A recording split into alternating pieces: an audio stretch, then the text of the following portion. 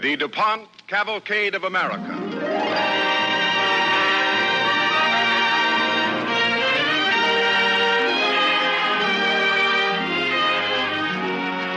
Tonight, the DuPont Company brings you Powhatan's Daughter, starring Joan Caulfield on the Cavalcade of America.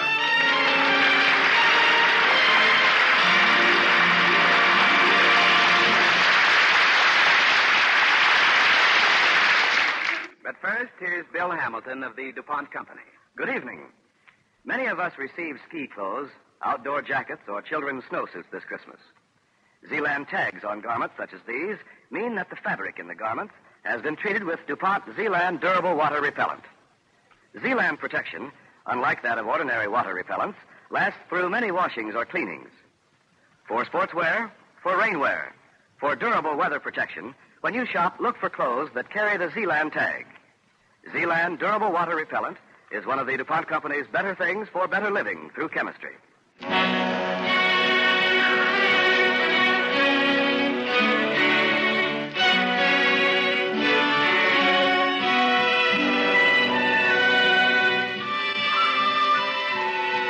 Now, Powhatan's Daughter, starring Joan Caulfield on the Cavalcade of America.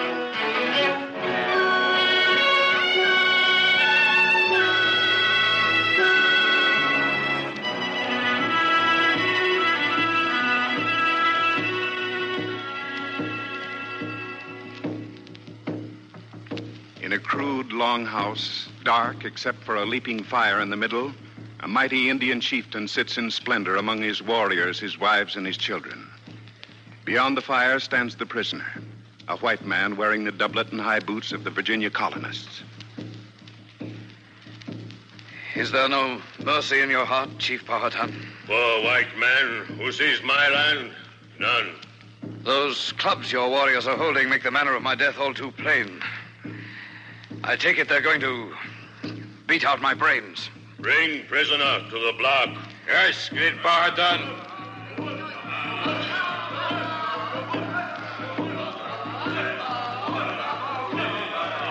With what relish your people view the prospect of seeing my head crushed. Even the women. Silence, prisoner. Kneel before block. Place your head upon it. When drums stop beating, will strike. No, no, Father, don't let them do it. Spare his life. Matoaka, go back from prisoner. No, I do not wish him to die. Daughter, return to your place among the women. It is a custom with us that a woman can claim a prisoner's life. I am a woman. You are child. You always say I am your favorite daughter. This is true. I have not asked many favors. I ask this now. No, it cannot be. Then I place my head upon his. Now their blows must break my skull first. Matoaka! I will not move, Father. Tell your braves to strike. Very well, my child. I have no choice. I grant your wish. Release prisoner. Oh, great Powhatan, I thank you. And I thank you, little princess. Will you tell me your name so that I may know what to call my. my benefactress?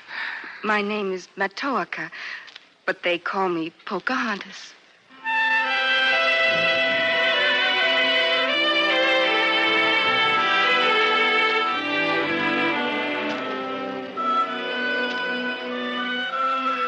And so, in the winter of 1607, the young daughter of the Indian chief Powhatan saved the life of Captain John Smith, set him free to return to the colony of Jamestown in Virginia. In so doing, Pocahontas rendered an important service to the struggling little settlement, where Smith was one of its few capable administrators. But no one realized how vital a contribution she was yet to make to the dream that was America.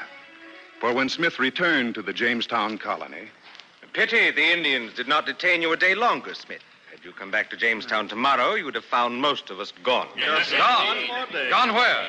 Home, Captain Smith. Back to England. Our plans are made, Smith. We've outfitted the small boat for the voyage, and we are prepared to sail with the tide. What ridiculous nonsense is this? It's the only sensible thing to do. Winter is already upon us. We are completely without adequate food or shelter. Archer, we were sent here to found a colony in the name of His Majesty King James I. To explore the lands hereabouts and to build houses and plant crops. I've had enough of this argument. To remain in Jamestown means to face starvation. I sail for England this day. All those who are of my mind, follow me now. One moment, Captain Archer. What? What is you Sir, do you make so bold as to point your pistol at me? I and any others among you who think to leave this colony. You dare to call yourselves Englishmen? Have you no courage? Courage will not fill our empty larders, nor our empty stomachs. Let courage fill your heart. Your stomach will not seem half so empty. No, Smith. I agree with Archer. We cannot remain here without food. Our stores are dangerously low as tis. Captain Smith! Indians! Indians? Indian attack. They've almost reached the clearing. Gentlemen, prime your guns. We had but gone aboard the ship earlier with... Quiet, Archer. Hand it to me. Guard, open the door. Yes, Captain Smith. How large is their number? Twenty, perhaps thirty. When they reach the clearing, give the signal. Then we fire. They're at the clearing now. Open the door wider. Gentlemen, take aim. Hold. Hold your fire. They carry no weapons. No weapons. They bear great baskets of food. And they're led by a mere girl. A girl, you say? See for yourself, sir.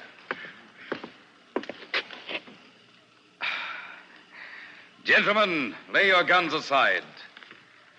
It's Pocahontas.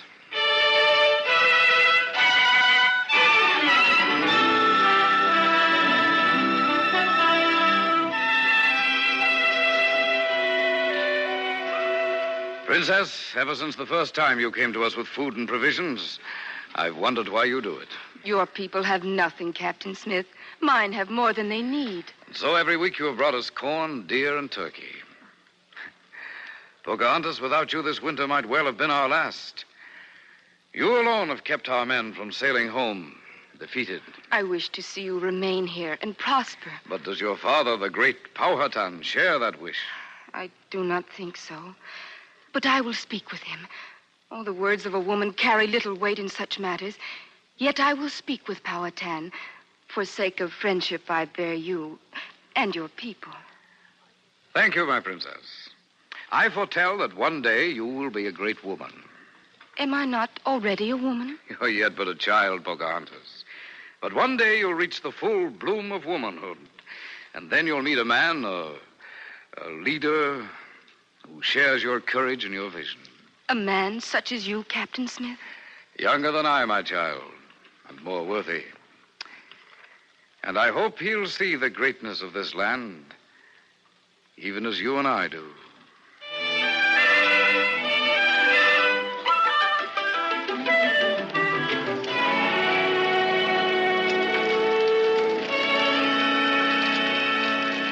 She's done it. What's that, Smith? Pocahontas has persuaded her father to talk peace with us. Peace. Food is on its way to be served to us here, and at length Powhatan himself will arrive. That's splendid news, Captain Smith. Why splendid? So that we may remain in this accursed land, huddling about open campfires like this every night? Archer, do you not see what this means? If Powhatan stands ready to extend the hand of friendship toward us, we can abandon these warlike expeditions. We can direct all our energies toward developing the colony, investigating its resources. To building- wit, its gold mines. Captain Archer, I have said many times I am convinced there are no gold mines in this territory. Hmm. but the land itself, man, is gold. The opportunities on every hand are golden in their prospects, if we have but the heart and the will. I wonder what costume would be appropriate for receiving an Indian emperor. Dignity and wisdom, Captain Archer. I doubt if your wardrobe includes either. I bid you good evening. Uh, Ratcliffe, throw more wood on the fire, and we freeze. Today. Captain Smith, What? Princess, what brings you here so late at night? I come to warn you. Warn me against what? My father, he means to trick you tonight. How? The food he, he sends you is poisoned. Poison? You've done well tonight, Pocahontas. Again, we owe you our lives. Oh, if Powhatan suspect I betray him, he will have me killed. You did not betray him. You followed the promptings of your own heart. Yes, you feel as I do. There must be peace between red man and white. This land is large enough for both. There's freedom and fortune and happiness here for anyone who's willing to work. It is so. This great and bountiful land, many people could live here in peace. They will one day, my princess. And now I must warn the men to be on their guard and not to eat the food. And I must go back before I am missed. Oh, take care, Captain Smith. It is your life that is in the greatest danger.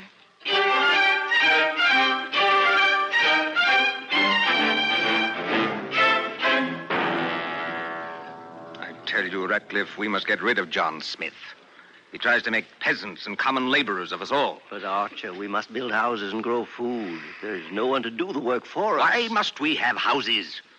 If Smith were not forever in our way, we could look for gold, dig it out, and sail back to England into a life of luxury. Ah, to sleep in a comfortable bed again, to eat civilized food. Yet to kill the man, Archer. I... Desperate times make desperate deeds, my friend. And if the others find out that we have murdered him. They need never know. Be made to look like an accident. An accident? Listen to me. I heard Smith say that he plans to look over our gunpowder stores this very afternoon. Long fuse, set alight at the right moment, and we should no longer be troubled by Captain John Smith. And no one would ever know it was not an accident. I tell you, we cannot fail. Ratcliffe, are you with me in this? All right. All right, we'll do it.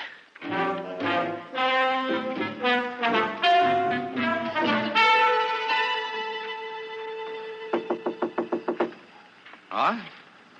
Who's that?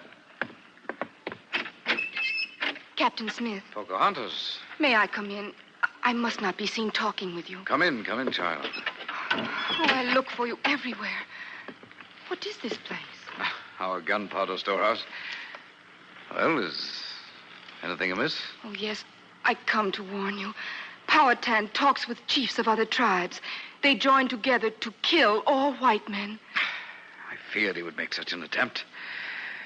Do they have many firearms? Oh, more every day by stealing or trading. And shh, What is it, Princess? I hear noise. What sort of noise? It was like hiss of snake.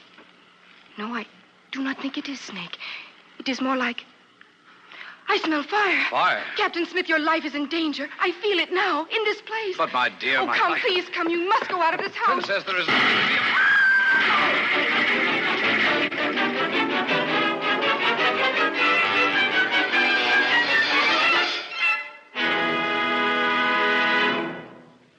You are listening to Joan Caulfield in Powhatan's Daughter on the Cavalcade of America, sponsored by the DuPont Company, maker of better things for better living through chemistry.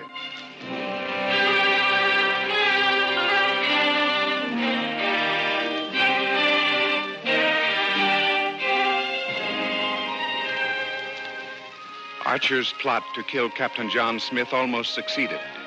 In shielding Pocahontas, Smith bore the full brunt of the explosion, which was intended to take his life and was badly burned. Well, after many weeks of suffering, he determined at last to return to England for treatment.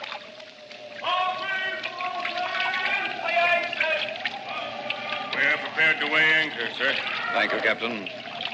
You must leave the ship now, Pocahontas.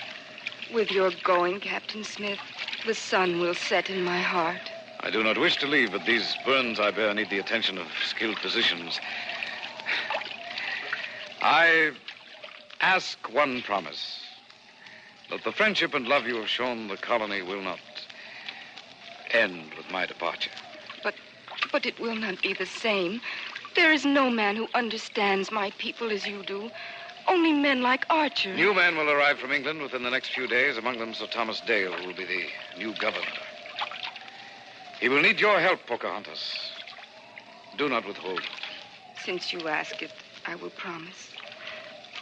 Captain Smith, will I ever look upon your face again? Do not weep, Princess. I beseech God that we may meet again. And I will learn to beseech your God, too, that he will grant you safe voyage and bring you back soon. Bless you, my princess. And farewell.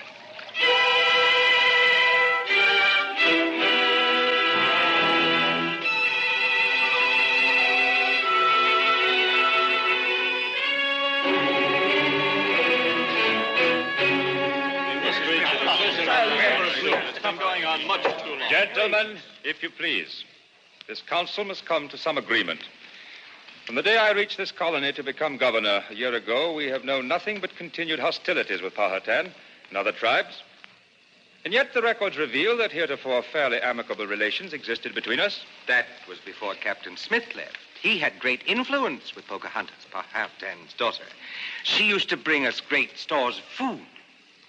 But since Smith left for England, she no longer comes here. So I have heard, Archer. Sir Thomas. Yes, John Rolfe.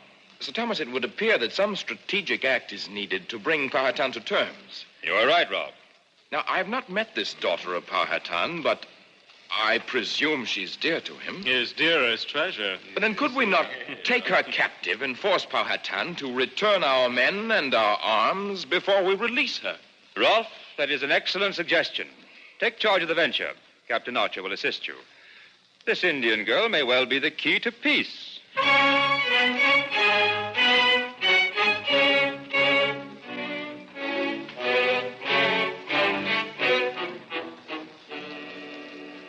Your pardon, Princess, for calling on you without your leave. I make you welcome, Captain Archer. But why you bring many men with guns? We thought perhaps your noble father might try to prevent us from seeing you. Powhatan and his braves make visit to Potomac tribe. Excellent. That will make our task easier, eh, Rolfe? Princess, w- we are taking you back to Jamestown with us. Oh, Powhatan forbid me. I cannot go with you. Oh, yes, you can, Princess. No, no, no, let me go. Rolfe, give me a hand with this Indian wench. Release her, Archer. There's no need to treat her so. Have no fear, Princess. I will see that no harm comes to you. Thank you. You are kind. If Captain Smith were here, this man would not dare to touch me. I'm happy to say we'll never be troubled with Captain Smith again. What do you say? You have news of Captain Smith? Great news. The ship he sailed on was captured by French pirates and sent to the bottom of the sea with all hands. I, I, I do not understand. Captain Smith is dead, my pretty savage. Dead? By Captain Smith? Dead? Oh, she's fainted. Here, let me see to her. Don't bother. Now we can easily get her back to Jamestown on a litter. It will not be necessary. I will look after her and, and carry her back myself.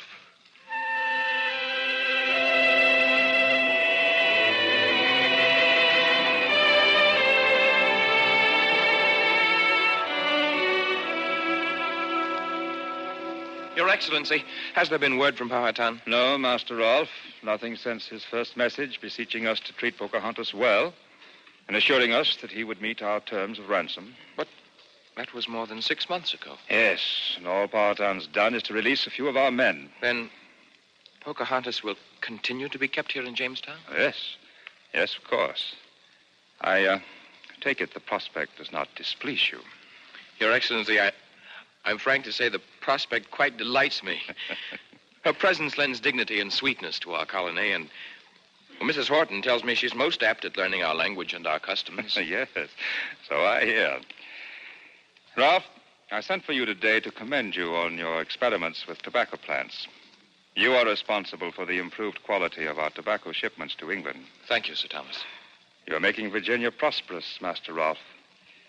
And you have our thanks and approval in all things. And if you should find yourself thinking upon marriage with an Indian princess, you would have not only our permission, but our congratulations.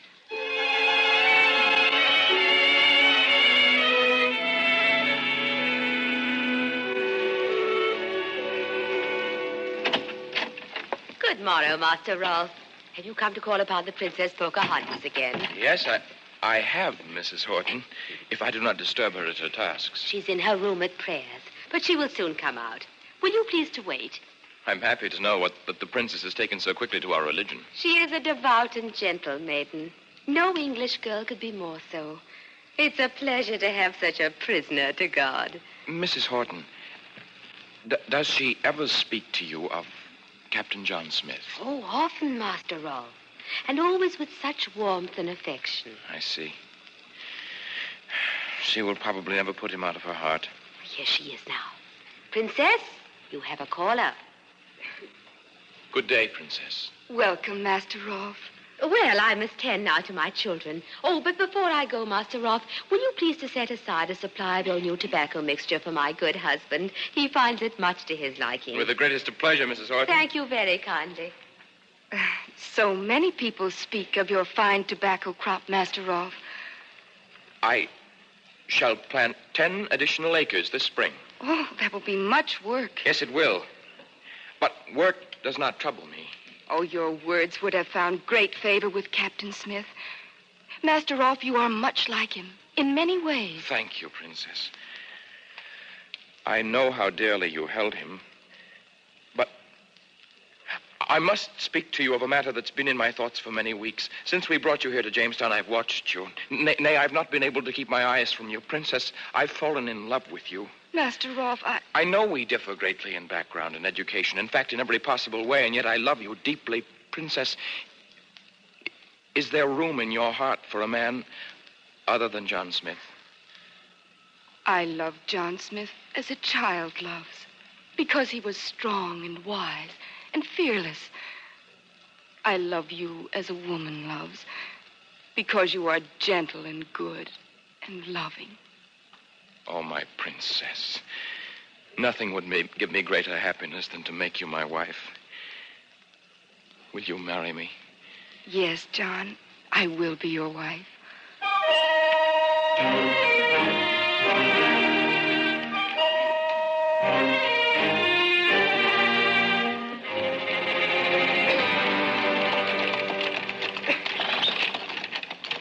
I still say this wedding procession is ill advised. The whole colony is exposed to Indian attack. Why could you not be married quietly in the stockade? Sir Thomas, I wish to be married in the white man's fashion, in the church. I think you're unduly alarmed, Sir Thomas. Pocahontas has done the colony service enough to have her wish granted. But Rolfe Powhatan was informed of this wedding weeks ago. He knows his favorite daughter is to be married, and yet he has sent no word. This can only mean that he is deeply angered. I tell you, that is great danger. Sir Thomas, I know my father. You have nothing to fear. Powhatan is treacherous. We are exposed and outnumbered. The entire colony can be wiped out. Oh, please, Sir Thomas, put your fears aside. I have faith in Pocahontas, Sir Thomas. To place the fate of our entire enterprise upon the assurances of a younger. What's the matter, driver? Why do you stop the carriage? Indians, Your Excellency. Just as I feared. Where are they? Ahead of us, standing between us and the church. Well, we must make a stand. Give the order to fire. No. No, Your Excellency, please. The least we can do is put up a good fight. Oh, please, sire, you must let me speak to them. Pocahontas, get back in the carriage. Oh, I must take the risk. Then I take it with you.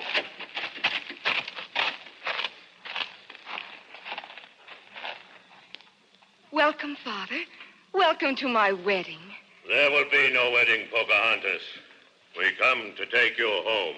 This is my home, Father. These people are my friends.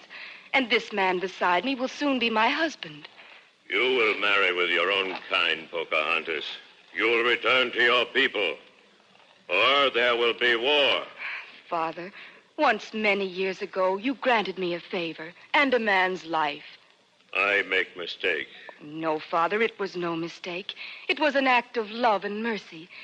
Now I ask you another favor to show the love you bear me by loving those who have become dear to me. Hmm.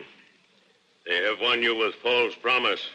They turn you against your own people, your own father. No one could turn me against you, Father. No one has tried. The white men only want your friendship and goodwill. Oh, Powhatan, let there be peace and friendship between Red Man and his white brother. I love John Rolfe with all my heart. Let our marriage mark the beginning of a new happiness for everyone. My daughter, your heart speaks to mine. It shall be as you ask. Oh, Father. I, Powhatan, make vow of peace and friendship with white man for all time. Oh, Father, you have shown the greatness of your love and your wisdom. This land is large enough for many people to live in peace and plenty. And as the white man prospers, the land will flourish and its bounty increase. And all will live here together in true brotherhood. And that which is the dream of today will be the destiny of tomorrow.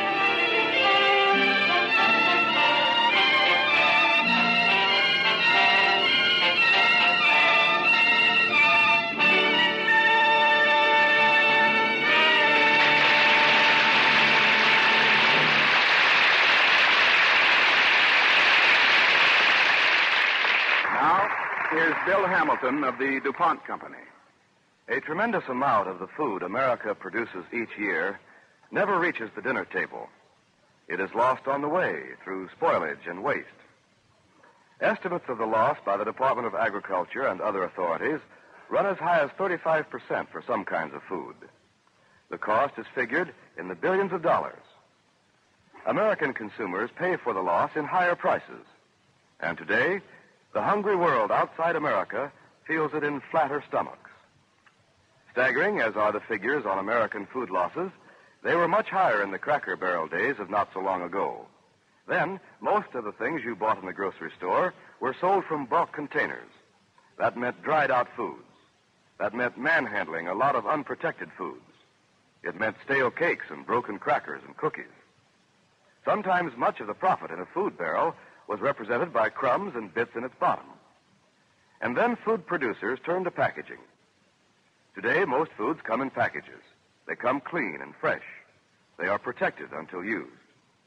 New packaging materials, developed or improved in the laboratories of industry, are helping America save food. But the job is a long way from finished. In the case of highly perishable foods, such as fresh fruits and vegetables, annual losses from spoilage are particularly high. The produce industry is in a constant race to get food from grower to table before it spoils. It's a race against time and the relentless working of nature's chemistry. But here, too, scientific packaging materials, plus refrigeration of produce, can play a major conservation role.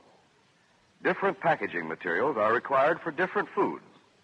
Some must be wholly moisture proof, some only partially so, in order that excess moisture may escape. Some foods are put in transparent packages so shoppers can see what they are buying. Many companies make food packaging materials, metal foils, for instance, and glassine, waxed paper, and other varieties of paper, paper board, parchment, and plastic films. A DuPont entry in this field is cellophane. When the DuPont Company introduced cellophane in America in 1923, it was costly to make and sold for $2.65 a pound. Today, a far better product, moisture-proof cellophane, sells for 44 cents a pound less than one sixth as much. 21 price reductions in 24 years were made possible by steady process improvement and constantly increasing production as cellophane became one of DuPont's better things for better living through chemistry.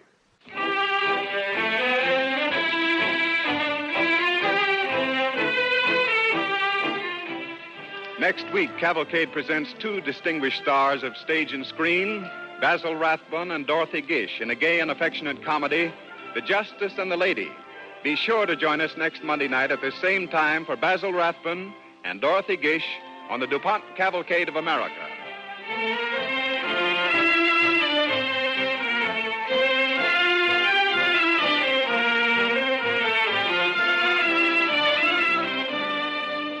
Tonight's DuPont Cavalcade, Powhatan's Daughter, was written by Priscilla Kent.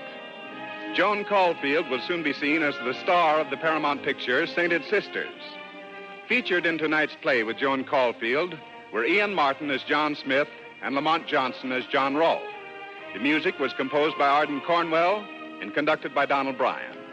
This is Ted Pearson inviting you to listen next week to The Justice and the Lady, starring Basil Rathbone and Dorothy Gish on the Cavalcade of America, brought to you by the DuPont Company of Wilmington, Delaware.